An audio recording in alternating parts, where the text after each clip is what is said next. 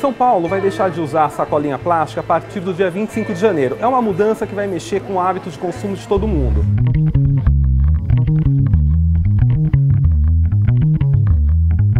Para começar, o consumidor vai ter que ir no supermercado levando a sua própria sacola, pagar lá 19 centavos por uma sacolinha biodegradável que passa a ser vendida. Benefício disso, pagando, o consumidor vai usar bem menos sacolinha.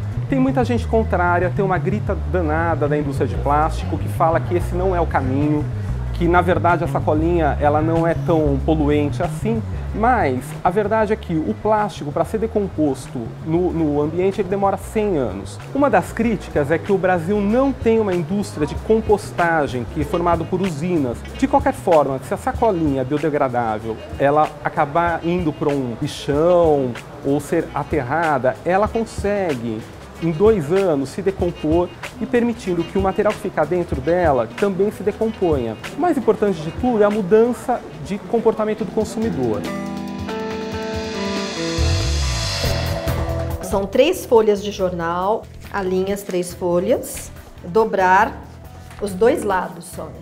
vinca e essa parte que sobrou a gente dobra e põe aqui para o lado de dentro. Aí eu vou dobrar para levar esta ponta quando ele ficar paralelo ao vinco do jornal.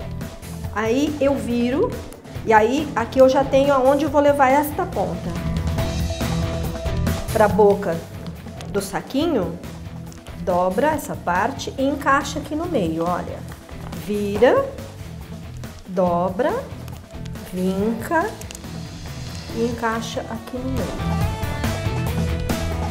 O saquinho tá pronto. Então, acho que no início as pessoas vão ter um pouquinho de dificuldade, vão falar, ah, imagina, vou ficar fazendo saquinho de papel agora. Mas depois que você começa a usar, você percebe como isso é limpo e como é gostoso, né? Você tá fazendo um negócio que não envolve plástico.